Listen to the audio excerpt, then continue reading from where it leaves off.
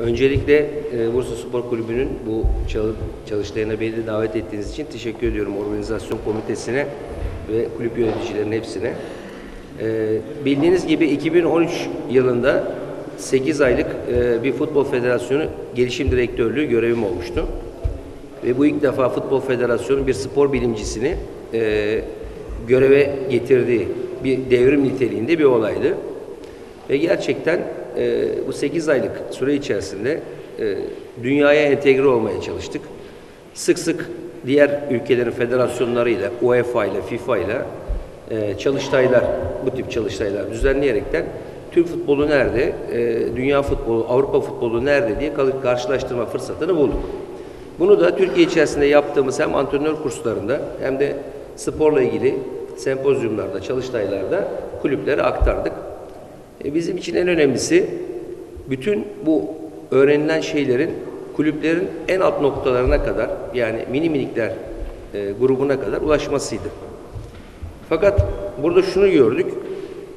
Zaten biliyorduk da biz bu durum tespitini yaparken e, Türkiye'de elit antrenör dediğimiz bir grup yok. Elit antrenör derken UEFA'nın bir projesi bu. Onunla ilgili kısa bir bilgi vereyim. UEFA A lisansı olanlar elit olaraktan pro lisansa geçmeden evvel e, futbol akademilerinde e, görev yapıyorlar ve futbol direktörleri de kendileri oluyorlardı. Bunun için ayrı bir modülü var UEFA'nın. Bizde normal antrenör kurslarımız var biliyorsunuz. CBA, Pro, UEFA oldu şimdi hepsi. Fakat burada çocuklara yönelik, gelişime yönelik hiçbir e, eğitim yok. Şu anda hala hazırda var esasında hazırladık biz bunların hepsini fakat Türkiye'de uygulanmıyor şu anda. Bu çok büyük bir eksikliğimiz. Zaten işin e, püf noktası bu. Peki nasıl olacak bu? E tabi kendi kendimize olmaz. Böyle bir program yoksa dünyada bu işleri uygulayan en ileri ülkeler e, buraya davet edildi. Bunların e, en iyi antrenörleri, teknik direktörleri, spor bilimcileri ve burada yine antrenörlere yönelik çalıştaylar düzenlendi Futbol Federasyonu'nda. Bunların öğretim programları hazırlandı, çekimleri yapıldı bizzat. Bizim e, arkadaşlarımız, futbol antrenörlerimiz tarafından federasyon bünyesinde ve bunlar arşivlendi. Yaklaşık olaraktan bir terabayta yakın bir dijital kütüphane oluşturuldu. İlk defa Türkiye'de bu. Biz zaten Marmara Üniversitesi Spor Yüksek Okulu'nda 7 yıldır e, bunu geliştirmiştik. Ama genel spor alanında geliştirmiştik. Yani her spor dalının nasıl öğretileceği, her yaş grubunun eğitimin nasıl olacağı, kondisyonel özellikler, diğer koordinatif özellikler, psikolojisi, sosyolojisi ne gerekiyorsa bununla ilgili bizim elimizde geniş bir arşiv vardı. Futbol Federasyonu'na da futbolla ilgili kısmını monte ettik. Daha sonra Adobe Connect sistemiyle biliyorsunuz bir haberleşme sistemi var Adobe Connect diye. Aynı anda 500 antrenöre eğitim verebilecek duruma geldik. Yani oturuyoruz böyle. Mesela şimdi ben şu anda burada konuşuyorum bir konu hakkında. 500 antrenör evinde bilgisayardan bu sempozyumu izleyebiliyor. Bu sayede bu biriktirdiğimiz bütün bu programlar, öğretim yöntemleri ve diğer bütün bilgiler e, kulüplerimizin akademide çalışan antrenörlerine verildi bu program. Tabi bunların denetlenmesi gerekiyor. Zaten sıkıntımız o. Bütün çalışmalar yapıldı. Kitap var, kaset var, her şey var elimizde. Tesis de var. Demin e, hocamızın söylediği gibi. E ama orada e, o işi yapacak insanlar yok. Yani büyük kulüplerimiz diyorlar ki bizim futbol akademimiz var. Var ama tabela var orada. Futbol akademisi yazıyor. E içeride bir tane akademisyen yok. Nasıl futbol akademisi bu yani? Sosyolog yok, psikolog yok, fizyoterapist yok, spor hekimi yok, spor bilimcisi yok, çocuk gelişim antrenörleri yok, pedagog yok. E nasıl oluyor bu çocuklar nasıl gelişiyor? Malum durumunuz giderseniz bu kulüplerimize tribünden o çocuklara yaptırılan çalışmaları izlerseniz çok net bir şekilde görürsünüz. Bir de yurt dışı örneklerini alırsak bunların da hepsinin kasetleri var elimizde. Artık internette her şey var zaten. Bir izleyip karşılaştırırsanız akademinin ne olduğunu, akademik modelin ne olduğunu ve normal bugün bizim Türkiye'de uygulanan modelin ne olduğunu net bir şekilde görebiliriz. Bu çok büyük bir fark. Şimdi yabancı oyuncuların da bu kadar serbest bırakıldığı bugünümüzde şimdi 14 yabancı oyuncu alabileceğiz ve bu para kazandıracak deniliyor Türkiye'deki kulüplere değil mi? Ee, ben mesela hiç öyle düşünmüyorum. açıkçası söyleyeyim. Çünkü özellikle Fransa, Almanya ve diğer e, ülkeler, kolonileri olan ülkelerde yetişen e, sporcular e, çok daha ucuz fiyatlara Türkiye'ye gelip atletik yetenekleri çok üstün olduğu için top teknikleri, becerileri de çok üstün olduğu için bizimkilerden bizim takımlarımızda yer alacaklar. Büyük bir sıkıntı olacak. Bu tabii işin başka bir boyutu. Şimdi konu o kadar büyük ki kusura bakmayın yani e, süremiz de kısıtlı. Normalde bunları e, biz her gün okulda konuştuğumuz için öğrencilerimize e, haftalarca konuşuyoruz. Federasyondayken de yaptığımız toplarında günlerce saat 12'lere kadar konuştuk bunları. Ve kulüplerin de yöneticilerine birebir kulüp başkanlarına, oradaki akademideki sportif direktörlerine ulaştık. Böyle bir imkanımız vardı. Ee, kimse de olmaz demedi. Herkes de bu programları uygulamak istiyoruz hocam dediler. Hatta geçenlerde yine bir televizyon programında dedim ki bakın bu programlar elimizde mevcut. Hangi kulüp istiyorsa bize müracaat etsin. Biz gelip o sistemi kuracağız ve bundan da beş kuruş para istemiyoruz. Buradan da söylüyorum. Buradaki çalıştayda. Eğer gerçekten bu işi uygulamak istiyorlarsa hangi kulüp olursa olsun müracaat etsinler. Bütün dokümanları vereceğiz. Yeter ki bunları denetleyebilsinler. Eğitimlerini de yapacağız. Yani güzel açık bir teklif değil mi? Yani sponsor olmamız lazım. Çünkü e, zaten biz bu işten para kazanmıyoruz. Yani senelerdir.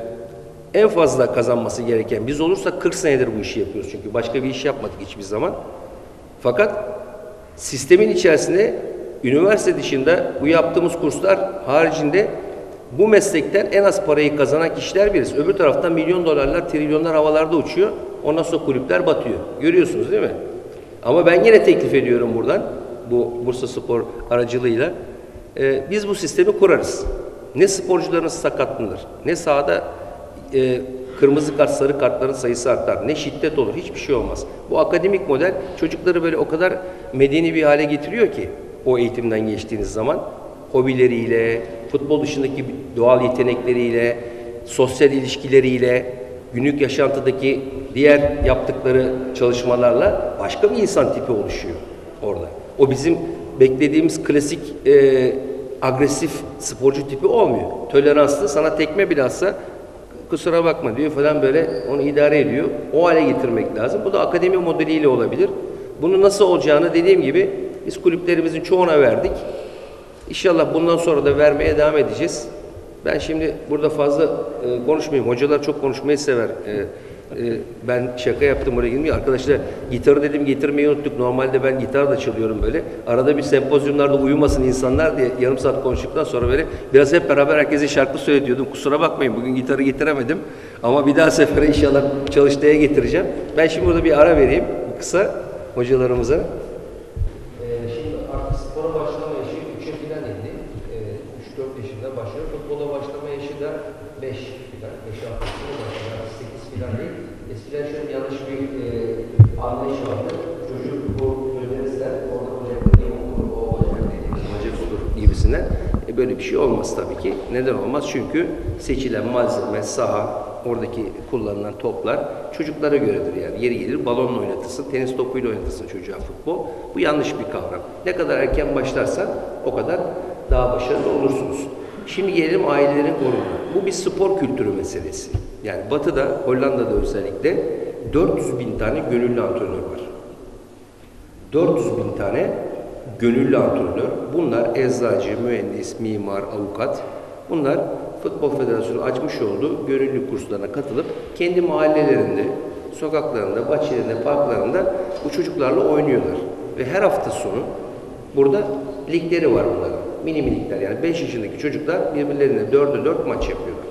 Buraya oraya gelen kişiler çocukların çoğu amcası işte e, oradaki akrabalardan bir tanesi onların antrenörlüğünü yapıyor ve ilgileniyor onlarla. O çocukları getirip götürüyorlar arabalarıyla. Tabi burada fiziksel koşullar da çok önemli. Aynı anda diyelim mesela bir futbol sahası var. 20 tane maç yapılıyor. Bu 5 yaşından bahsediyorum. 5-6 yaşından. Şimdi dolayısıyla buraya gelen aileler orada sucuk getiriyor, salam getiriyor, peynir getiriyor, bir şeyler getiriyorlar. Bu maçlar oynanırken bütün o aileler stadın çevresinde piknik yapıyorlar. Birbirleriyle tanışıyorlar. Zaten kendileri de sporun içerisinden geldikleri için çocuklarına hiçbir zaman Maradona gibi olsun, Messi gibi olsun diye bir baskı yapmıyorlar. Oradaki tek amaç çocukların spor yapması. Futbolda değil. Futbol bir tanesi. Zaten o çocuklar sadece futbol oynamıyorlar orada. Onları yüzmeye götürüyorlar zorunlu ders. Jimnastik zorunlu ders. Ya kayağa gidiyor, ya yelken sörfe gidiyor. Yani orada bir çocuk saat 8 yaşına geldiği zaman, 9 yaşına geldiği zaman neredeyse her sporunu yapabilecek altyapıya sahip. Esas zaten bizim batıyla veya sporda ileri gitmiş ülkelerle aramızdaki en büyük fark bu. Çocuğun en iyi öğrenme yaşı olan 5 ile 12 yaş arasında biz eğitim veremediğimiz için çocuğa beyin ve nöromüsküler sistem dediğimiz kas sinir koordinasyonu gelişmediği için 12 yaşından sonra çocuklara bir şey öğretmek çok zor. Bu müzik, müzik enstrümanı çalmakta da böyle, yabancı dil öğrenmekte de böyle. Bu şekilde ben kendi kızımdan örnek vereyim. Belki çoğunuz tanıyordur. Kendisi sörfçü. Lena Erdil ismini duydunuz mu? Duymuşsunuzdur herhalde. Geçen sene dünya şampiyonu oldu. Türkiye'de kaç kişinin sörf yaptığını biliyor musunuz? Belki de yarışmacı 10 kişi. Yani Amerika'yı, Avustralya'yı falan gözünüzün önüne getirir misiniz bir sörfte falan? Hep o hayranlıkla seyret, seyrettiğiniz o büyük dalgalar falan var ya, Javs'ların olduğu yerlerde. Milyonlarca kişinin sörf yaptığı dünyada bizim bir şampiyon sporcumuz var, dünya şampiyonu. Bizim sporcumuz, Türk. Nasıl oldu diye sormayın ama sakın. Herhalde bir 17 senedir çalışıyoruz bu iş için. Kaç kişi çalışıyor onun için biliyor musunuz? Dünya şampiyonu olması için. Şu andaki ekipte en az 20-30 kişi çalışıyor. Ve bütün testleri Avrupa'da yapılıyor. Amerika'da yapılıyor. Güney Amerika'da yapılıyor. Güney Afrika'da yapılıyor. Gittiği her yerde lojistik destek veriyorlar bu sporcuya. Doktora tezi gibi her 6 ayda bir bütün gelişmeleri milimetresine varıncaya kadar ayak tabanındaki nasırdan tutun da saçının telindeki yağlanmaya kadar her şey ölçülüyor. Kondisyondan falan bahsetmiyorum. O zaten teknik taktik olmazsa olmaz. Çünkü neden? Artık saliselerle, milimetrelerle olimpiyat şampiyonu, dünya şampiyonu ol- olabiliyorsunuz. O yüzden çok küçük yaştan itibaren uzman kişilerle iyi eğitimle bu çocuğun o akademik akademik eğitim diyoruz yani altyapı altyapı artık altyapı falan yok. Yani bu inşaat değil altyapı. Orada bir insan kavramı var. Ve futbol fabrikası falan diye basında da konuşuluyor. Biz futbol fabrikası. Yapamazsınız. Bu buzdolabı değil, çamaşır makinesi değil. Bilgisayar değil. Aynı şablonu vereceksin, çıkartacaksın. İnsan faktörü ve insanlar gelişmeleri sırasında çok şeylerden etkileniyorlar. Hiç ummadığınız bir kişi olimpiyat şampiyonu olabiliyor veya Maradona gibi gözüken çocuklar. Mesela bu yetenek seçimi geliştirmesiyle ilgili birkaç bir program yaptık. Ee, şöyle diyorlar, işte futbolcu olmak lazım, ee, orada yeşil sahalarda olmak lazım çocuğun e, yetenekli bir Maradona olup olmayacağını seçmek için. Hiç alakası yok. Onu bizim mahalledeki berber de manavda daha iyi görüyor. Zaten berber, manav, kasap falan olmasa o çocuklar kulüplere gelmiyor ki.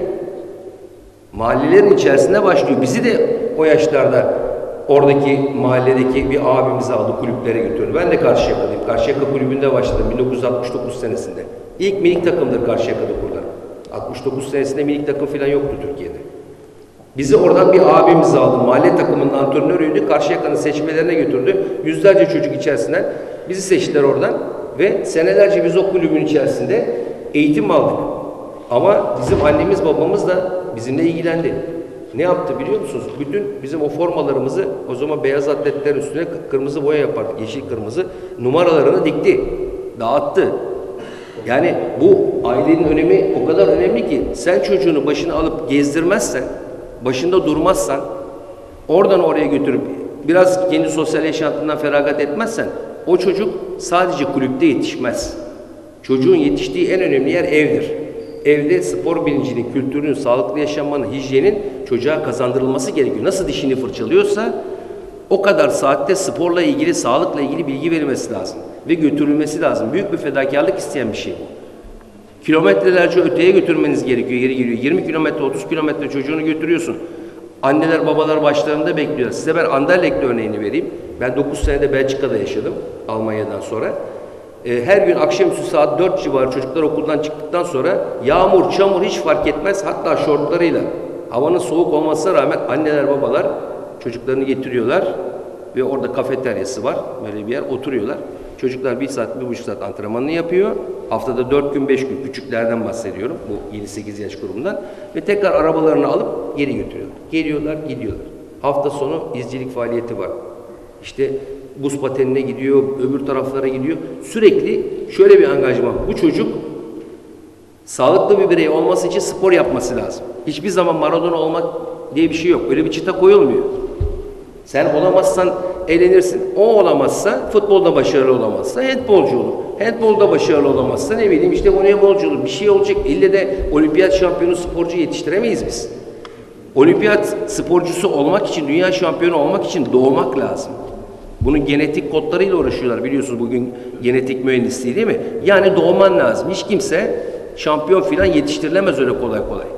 Şimdi gelelim bizim bu futbol takımlarındaki e, şiddete biraz ona da gireyim. Sırf eğitimle ilgili konuşmayayım. Bu çok önemli çünkü. Şimdi bizdeki en büyük hata ne biliyor musunuz? Çıtayı çok yuk- yukarılara koymak. Bütün kulüplerin yaptığı bu. Şampiyonluğa oynayacağız. Oynayamazsın kardeşim şampiyonluğa. Gerçekler var. Senin elindeki malzeme bu. Fiziki koşulların bu. Maddi diyeceksin ki bu sene ben bu ligde 12. olurum. Veya ertesi sene 8. olurum. Böyle yavaş yavaş ya günüm ilk 3'e girerim Avrupa'ya giderim. Avrupa'da tecrübemi arttırırım. Ondan sonra günün birinde de eğer hakikaten hak ediyorsam, bu işleri yapıyorsam yatırımları günün birinde de şampiyon olurum. Herkes şampiyonluk ümidiyle başlarsa, o seyirciyi öyle şartlandırırsan ondan sonra tribün terörü başlar. Bunu öyle kalkıp da cezayla, pasolikle, kameraman sistem istersen her tarafına kamera koy, gene şiddet olur sahada. Engelleyemezsiniz. Bu bir spor kültürüdür. Başka e, sosyal yönleri vardır. İnsanların birbirlerine empati yapmaları gerekmektedir. Ve kulüplerin, yönetimlerin birinci ödevi bu seyirciyi gerçeklerle buluşturmaktır. Bu sene 8. olacağız arkadaşlar. Bizim derecemiz bu. Ve elimizdeki malzememiz bu. Kalkıp biz Avrupa şampiyonu falan olamayız. Şampiyon kulüplerde de oynayamayız. Nasıl üçüncülükten, dünya üçüncülüğünden 56.lığa düşüyoruz yani. O anda bizim hakkımız üçüncülük müydü acaba? Değildi. Bir kere buraya bir tespit yapalım. Hiç kimseyi kandırmayalım. Turnuva maçlarında o ona düşer, bu buna düşer. O onu yener, bilmem ne yapar. Ortada kuyu var, bilmem ne bir bakarsın final oynarsın. Ama bir sonraki dünya şampiyonasına bakalım, Avrupa şampiyonasına giremiyorsun elemelere. Yani sen bir dünya şampiyonasında üçüncü olup da öbür dünya şampiyonasına gitmemek diye bir şey var mı? Böyle mümkün mü böyle bir kalite varken? Demek ki tamam, tamamıyla tesadüf denk gelmiş öyle. Turnuvadaki kura çekimiyle değil mi? O günkü şartlarla ilgili. Ha, Şimdi bataklığı kurutmak lazım. Bataklığın kurutulması da ne cezayla ne de başka bir şeyle olur. Bir tek şeyi var. Eğitim ve spor kültürünün burada işte e, insanlarımıza anlatılması, aşılanması ve gerçekçi hedefler koyulması gerekiyor. Şimdi e, kulüplerde ben bu Bursa Spor'un yapısını e, bayağı inceledim. Gerçekten e, takdire şayan bir yapısı var. E, özellikle gençlerle ilgili. E, bir de Buca örneği vardı biliyorsunuz. Buca Spor'u zaten biz kurduk. Altınordu değil, Buca. Buca Spor kurulduğunda bu işte onlar zaten kulüp başkanı da kardeşi de benim yakın arkadaşımdır. İkisi de. E, dediler ki biz e, bir futbol akademisi kuracağız Türkiye'de ilk defa. Ne yapalım? Biz de üniversitedeyiz. Ben yurt dışındaydım. Orada Mustafa Hocam var. Tanıyorsunuz. Profesör Doktor Mustafa Ferit Acar. Dedim ki çok değerli bir hocamız var üniversitede. E, Kendisi bölüm başkanı. E, ve bu arkadaşımızla konuşun. Buca Futbol Akademisi böyle başlayın. Yani sadece tabela olmasın. Öyle başladılar. Detaya girmeyeyim. Buca Spor 3 sene içerisinde lige çıktı. Süper Lig'e çıktı. Çok kısa bir sürede. Sonra ne oldu? Sürdürülebiliyoruz ya işte. Zaten bizim temamız bu. evet. Buca Spor arkası arkası Mustafa Hoca ayrıldı oradan ve kulüp yönetimiyle cami arasında bir takım sıkıntılar çıktı. Mustafa Hoca üniversiteye döndü. Buca gene kendi çıktığı yere döndü. Sonra ne oldu? Mehmet Bey, kulüp başkanı dedi ki ben Altınordu kulübünü alıyorum. Altınordu İzmir'in çok köklü bir kulübü. Ama tabii destek lazım, maddi sıkıntıları var. Aldı. Oraya yapmış olduğu yatırım bütün o küçük çocukları da gençleri de aldı, getirdi Altınordu'ya. Altınordu'nun nasıl bir çalışma sistemi içerisinde olduğunu izliyorsunuz herhalde. Geçenlerde büyük kulüplerimiz, ben böyle konuşma sırasında e, misafir oldum İstanbul'dan. Önemli kulüplerimizin bazıları Altınordu'ya gidip nasıl acaba çocuk yetiştiriyorlar diye bakmışlar. Bu felaket bir şey. Olacak iş değil. Kulaklarıma inanın ve bana söylüyor. Biz gittik diyorlar sistemi incelemeye. Altınordu'ya gidiyorlar. Neden? Ne yapıldı? Ol- olması gereken bu akademik model dediğimiz bütün kulüplere verdiğimiz, burada Bursa Spor'da da vardı. Arkadaşların hepsine verdik. Buradaki çalışan e, sizin futbol gelişim e, yaş gruplarında çalışan arkadaşlara çoğuna verdik bunu biz. Ne yapılması? Yani bir kulüp yapısı nasıl olması lazım? A'dan Z'ye ne gerekiyor? Bunlar öyle çok büyük paralarla olan şeyler değil. Doğru yere doğru insanları getirmek lazım. Hocamın söylediği gibi İsmail hocam bize sormuyorlar ki senelerdir. Siz beni tanıyor muydunuz? Futbol gelişim direktörü olana kadar. Belki de futbol gelişim direktörüken de tanımadınız. Ya ben 69 senesinden beri futbolun içerisindeyim. Bütün buradaki antrenörlerin çoğunun hocasıyım. Milli takım antrenörlüğü yapmış hocaların da hocasıyım. Çoğunun. Bütün kurslarda senelerce ders verdik biz. Ne oldu? Hiçbir şey olmadı. 40 sene sonra nasıl olduysa beni keşfetti Futbol Federasyonu ve futbol gelişim direktörü yaptı. Neler yapıldı, neler yapıldığını ben şimdi anlatmaya kalksam burada haftalar sürer. 8 ay içerisinde. Şimdi ne oldu? O kurduğumuz ekibin hiçbiri orada yok. Ne Mustafa Ferit Acar var, ne Güven Erdi var, ne diğerleri hiçbiri yok. Bütün projeler durdu. Futbol lisesi kuruyorlar. Futbol lisesine futbol mu öğretilir? Lisede futbola falan başlanır mı? 5 yaşında diyoruz. Bak 400 bin tane gönüllü antrenör var. Sporun, futbolun hiçbir zaman giremediği o ilk öğretime girmesi lazım. Bakın protokolü getirdim ben burada. Elimde protokol. Burada demin sorduğunuz için. Bu bizim Milli Eğitim Bakanlığı'na yaptığımız protokoldür. Futbolun ilkokullara girmesi için. Bu protokol imzalanacaktı ama maalesef görevden e, istifa etmek zorunda kaldım ben. Bu protokol imzalanmadı ve ilkokula girmedi. Şimdi bir tane futbol lisesi kuruldu Türkiye'de. Lisede filan futbol öğrenilmez arkadaşlar. Çok geç. 5 yaşına indi futbola başlama yaşı. Buralara sokmamız lazım ilkokullara. Gelelim sizin o verdiğiniz örneği, Amerika örneğinin aynısı Hollanda'da ve Almanya'da. Okulların parklarını yani bizim oyun parkları var ya ilkokulların, anaokullarının oradaki anneler babalar yapıyor. Herkes aletini, edevatını, lastiğini, takımını evinde ne varsa kullanmadığı bir takım malzemeleri getirip o çocuklara orada spor imkanı yapabilmek için kendileri bizzat çalışaraktan orada o parkları yapıyorlar. Ve okul yönetiminde söz sahibiler orada. Öğretmenler çok korkar anneden babadan orada. Çocuğa hiçbir şey yapamazlar. Anne baba o kadar e, yönlendiricidir ki okulun eğitimi konusunda. Her an her toplantıda bulunurlar. Okulun kalitesini yükseltirler. Fiziki koşullarını kendileri elleriyle yaparlar. Biz şimdi bunu geliştirmek için ne yaptık? Neler yapıldığını size anlatayım ben. Çok kısa özetleyeyim. 81 ilde gönüllü antrenörlerimizle onlara yaptığımız seminerlerle bir plan yaptık. İlk amacımız 100 bin çocuğu bu havuzun içerisine almaktı ve 5 sene içerisinde 1 milyon çocuğa ulaşmaktı. Yani 1 milyon sürdürülebilir eğitim, gelişimin devam edebileceği. Sadece burada kış, yaz aylarında, kış aylarında spor yapmakla spor olmaz. Bakın yaz tatili başlıyor. Türkiye'de ne futbol var, ne lig var, hiçbir şey yok. Bitti. Sporu her gün yapmanız lazım. Nasıl yemek içiyorsa bu alışkanlık. Çünkü bu beyin sinir gelişimi, sosyal gelişim, adaptasyon. Üç gün sahaya çıkmazsan sahadaki yürüyüşün değişir. Bu nasıl olması lazım? Gelişimin sürekli olması lazım. Bizim milli takımdaki sporcuların başarısızlığının nedeni ne biliyor musunuz? Çünkü erken başarı istediğimiz için çok erken yaşta engellerle karşılaşıyorlar. Fiziki koşulları yetmiyor gelişmeleri. Avrupa'ya baktığımız zaman 25 yaşındaki bir futbolcu gelişiyor. Antrenörlerin birinci görevi 25 yaşındaki futbolcuyu bile gittiği takımda geliştirmesi gerekir. Biz ne yapıyoruz?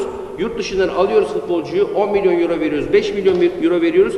6 ay olmadan futbolcu yedek kulübesinde oturuyor. E ne oldu bu adam Hollanda'da oynuyordu. Amsterdam'da, Ajax'ta veya bir sene evvel İngiltere'de oynuyordu. Ne oldu buraya Türkiye'ye geldi bizim takımlarda niye oynamıyor? Demek ki burada bir şey var. Çalıştıramıyoruz bu çocukları buraya gelenleri. Avrupa'da nasıl çalıştırıyorlar? Arda'nın durumunu örnek verelim. Arda burada futbolu bırakmak üzereydi. Herkes e, Galatasaray'dan eleştirilere boğdu Arda'yı. Bunalıma girdi çocuk burada. Arda gibi bir tane yetenekli var mı? Sergen gibi var mı bir tane yetenekli futbolcu gördünüz mü?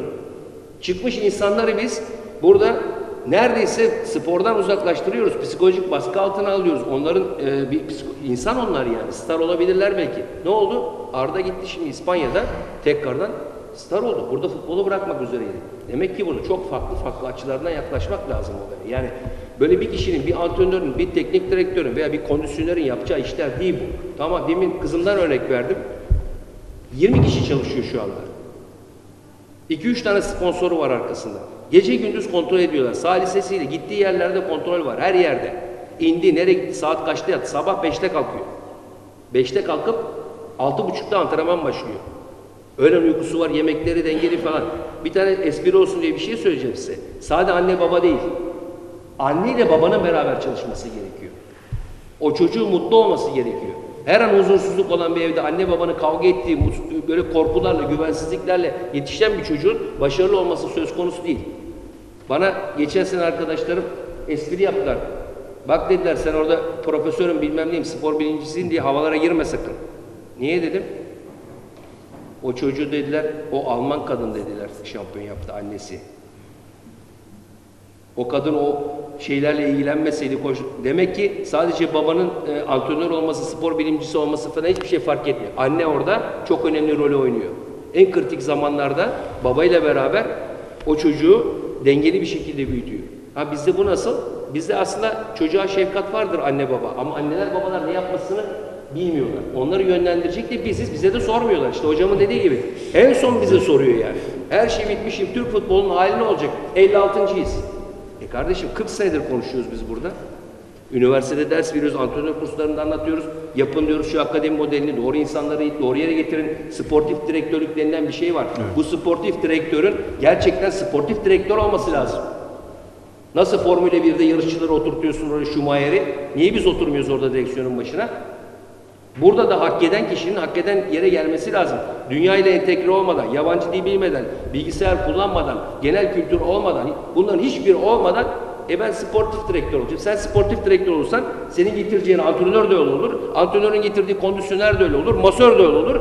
Ondan sonra 56. olursun. Hatta 156. olursun. Bunun genel eğitimden peki bir bağımsız yeri var mı? Eğitimde kaçıncıyız dünyada? Şu anda 134 veya 135 arkamızdan da Sudan'la Somali geliyor. Şimdi bu durum buradayken öyle futbolda falan biz başarılı olamayız. Onun için hiç böyle kendimizi kandırmayalım. İnsanlara da çıtaları şampiyon olacağız. Avrupa şampiyon kulüpleri. Boşuna da Böyle konuşmayalım bir şey yok. Yapılacak olan reçete bellidir. Son derece sağlığa zararlı.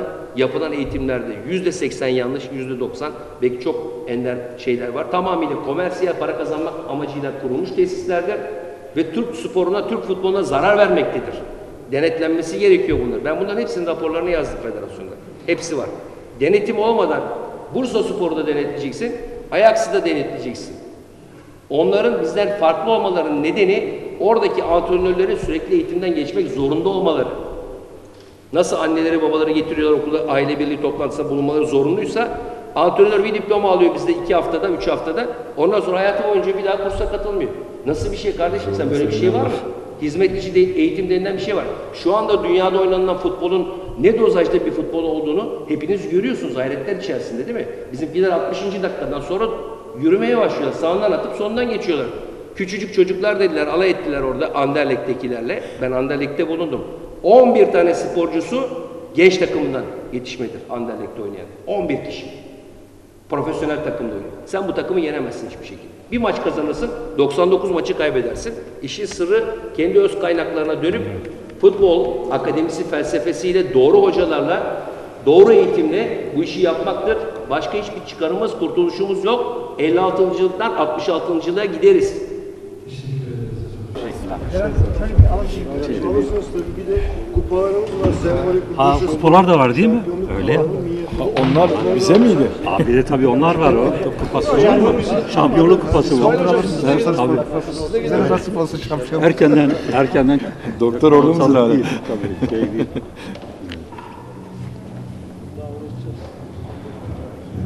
Ama işte bizden sonra uğraşacaklar mı olacak mı onu merak ediyorum. Gerçekçi olup uğraşmak, uğraşmak için. İşine geldik artık. Bırakıyoruz işte. Şey,